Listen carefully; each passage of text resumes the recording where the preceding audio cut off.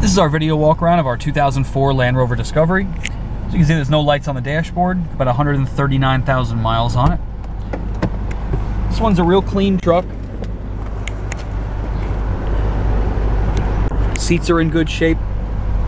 It's got the usual little headliner sag on the top that all the Rovers get. This one's an SE7, so you've got the uh, the third row jump seats, which is pretty rare on these. Has all the floor mats. Pop the hood and then take a walk around the outside.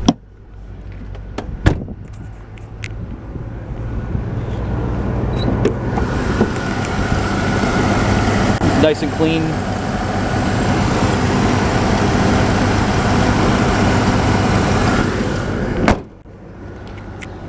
Outside's in real nice shape. It's got a uh, matching set of Goodyear Eagles.